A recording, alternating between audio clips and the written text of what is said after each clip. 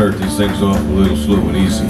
This is the uh, be getting it eaten set. Yeah. Next set is for digestion, the third is for party, so stick around. My name is Gary Bush, and this is, I guess, the Gary Bush Trio. I kind of like to call us just practicing. no website, no nothing. We just hang out here on Sundays and Porky's, so come on out. That's about it. The reason I've been waiting all these years. Somebody's gotta change, but I'm near the end and I don't think I have the time.